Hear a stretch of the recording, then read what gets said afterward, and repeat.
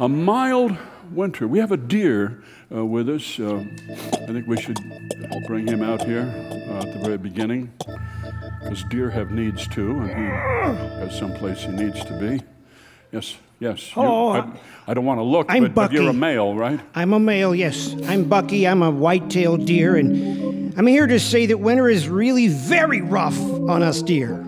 We have to forage for browse. Uh, we're looking over our shoulder all the you time. have to browse for forage, or You know, I, I don't know. They just browse for yeah, forage. Either do way, they it teach works. you to diagram sentences out there in the? No, no, no, no. No, okay. We don't really put sentences together. Okay, very you well. just browse or something. We're browsing your evergreens, as a matter of fact. Oh, we're, I see. But we're always looking over our shoulder for guys with rifles, watching for cars. Hmm. You know, winter is as rough for us as it is for birds. Oh. But, but people don't they don't they put out bird feeders right for Right, birds but not yes. for us so old men sit in parks and feed squirrels and swans and, and they never do a darned thing for us deer Uh-huh. have a heart people how about a few sunflower seeds for us? You know, a, a few apples would, wouldn't hurt. Some suet. Would it kill you to put a little salt lick in your backyard? Okay. Come on.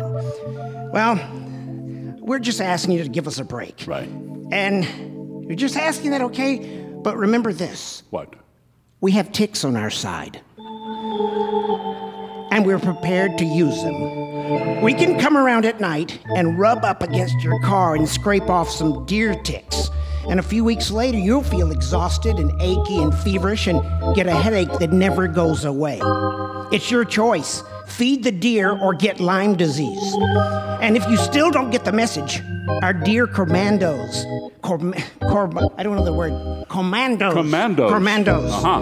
Well, that's a people word, isn't it? Yes. Deer commandos are lying in wait at night in a ditch alongside the highway, Oh, ready to leap up and come crashing hooves first through your windshield. We've got nothing to lose, people. That's so not nice. feed deer or It's else. not nice.